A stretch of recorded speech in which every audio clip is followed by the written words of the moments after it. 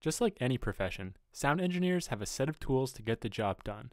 Those tools are equalizers, compressors, reverb and delay units, gates, expanders, and the many other processors that you may find in a modern digital audio workstation. But knowing what tools you have in your arsenal is not even half the battle. Knowing how to use these tools and understanding everything that they are capable of is what helps to make a versatile and efficient engineer. So, in this series, I aim to provide in depth tutorials on the functions and techniques of these processors to help you create more professional and interesting mixes. In this episode of Advanced Processing Tutorials, we are going to take a look at how to sculpt the frequency spectrum and really go in depth about the purpose of EQ.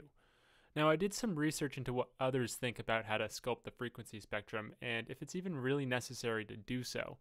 A lot of people seem to think that if you really spend time on choosing the right microphones and correct microphone placement, sculpting the frequency spectrum with EQ should not really even be necessary.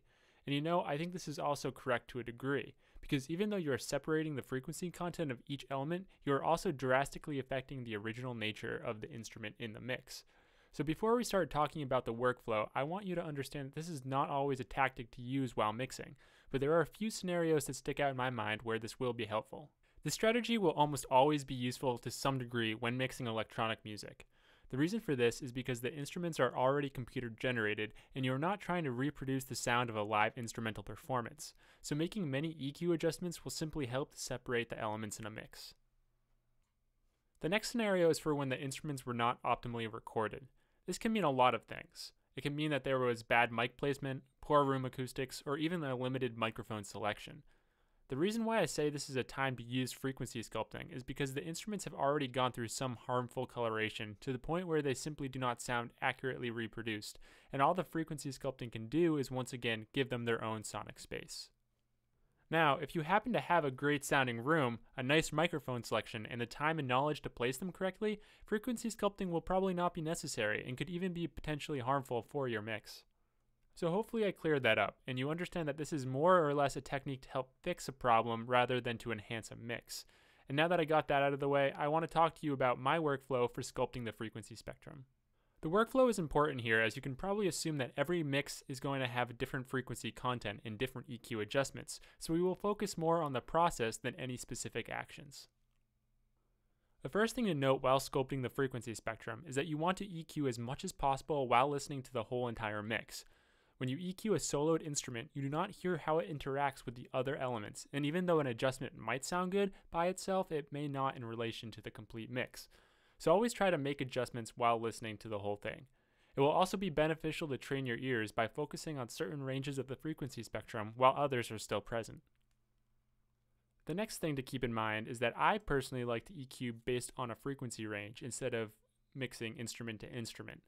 What I mean by this, and I'll give you an example shortly, is that instead of EQing the full spectrum of an instrument at one time, just pick a range of frequencies for the whole entire mix.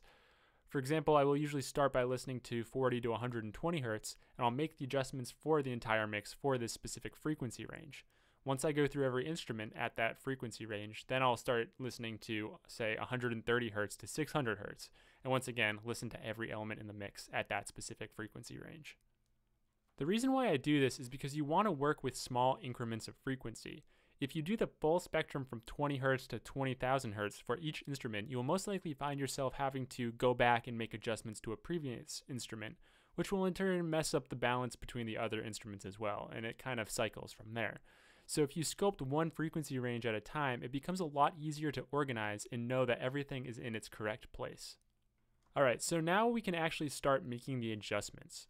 We know that this whole process is to essentially fix a problem, so when it comes to adjusting the EQ, we want to cut before we boost.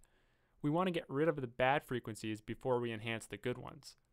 Finding harmful frequencies is actually quite easy if you do not have a highly trained ear that can just pick out where they are. I call this technique sweeping. What you need to do is set your Q control to the smallest band available so that it affects the least amount of frequencies, and then boost it as high as it can go and start slowly sweeping it through the frequency range that you are working on. This should reveal any really bad frequencies, and once you find them, simply cut them out. If it seems like there are multiple frequencies in that same area, then simply widen the Q. Do this for each instrument for every new frequency range, and now you have begun to sculpt your spectrum by ridding it of all these nasty, harmful frequencies and making room for the good ones. To make a certain element stand out from another, you need to have different frequency content. The common example in the lowest range, 40 to 120 Hz, is the battle between the kick drum and the bass guitar. To let both of these elements stand out on their own, you need to decide which one will have the lower fundamental frequency. A lot of people tend to automatically have an opinion on this, but just like anything in the skill, you should really use your ears. Not all bass guitars sound the same, and almost all kick drums sound different. So before you decide which element will go where, I'd always take a good listen to both and analyze their natural frequency content and decide which one will benefit more from the real low frequencies and which one will give the mix more power. For the purpose of this video, let's say the kick benefits greatly from these low frequencies. What I would then do is find out where it gets a lot of the power by using the sweeping method I mentioned earlier and boosting that frequency to taste. Then cutting the same frequency a bit on the bass guitar so that they have some sonic space. Then I would try and find a higher frequency in the bass that still sounds good and gives it power. Boost that and then cut the frequency a bit in the kick. This way you are designating frequencies for each instrument and the frequency content is not cluttered. It is really important that you make sure the content you are boosting helps to enhance the natural sound of the element. If you just boost any random frequencies without having a reason, you are doing more harm than good, and you would be better off simply not EQing it at all. So always use your ears and have a reason to your decisions. For this low frequency range, you usually do not have too many instruments to EQ. A lot of main elements like keyboard, guitar, and vocals will have a high pass filter on them past this 120 points anyways to make even more room for these low frequency elements. However, the next frequency range that you work on will start to get significantly more complicated as you add many more of these elements into the mix.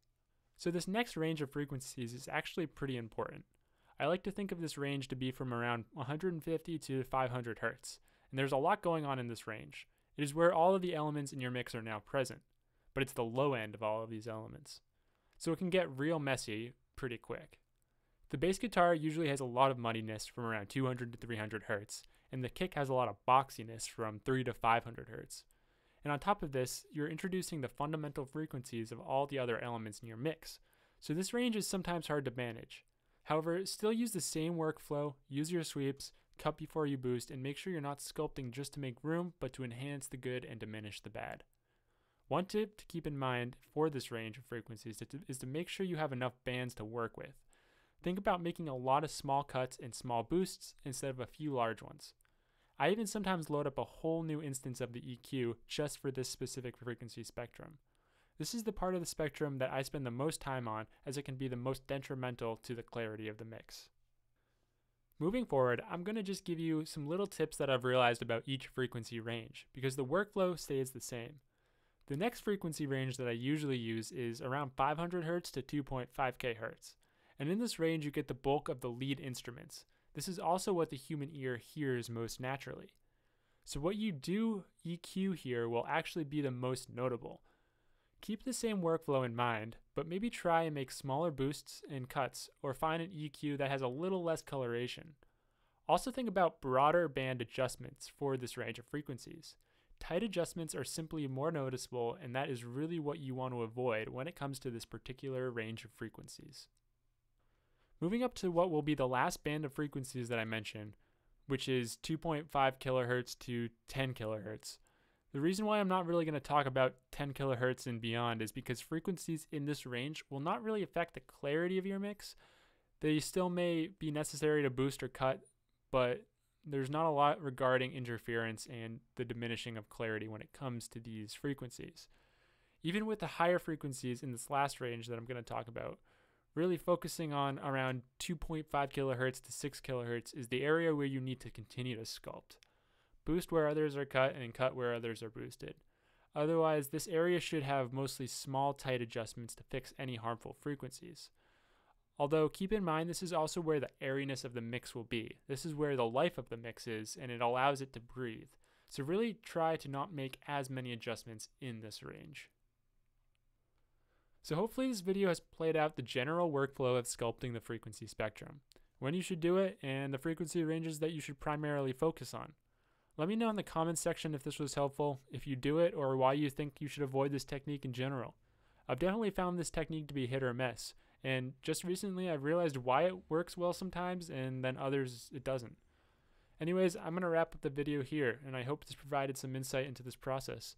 I hope everyone is having a great day, and I will see you in the next video.